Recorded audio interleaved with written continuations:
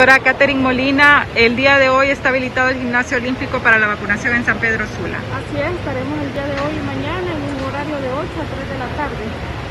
¿Cuáles eh, son las vacunas que se están aplicando? Se estará aplicando primera dosis de AstraZeneca para toda persona mayor de 18 años que acudan con su identidad y segunda dosis de Moderna.